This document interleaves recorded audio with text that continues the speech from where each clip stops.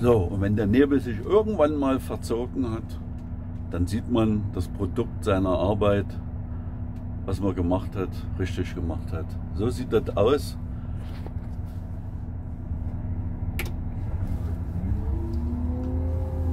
Und irgendwann sieht man was.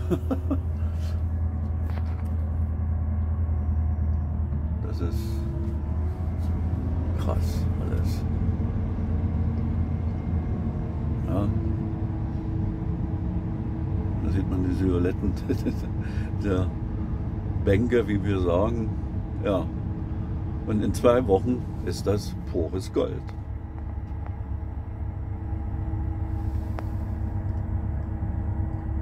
Wie gesagt, aus Stroh wird Gold.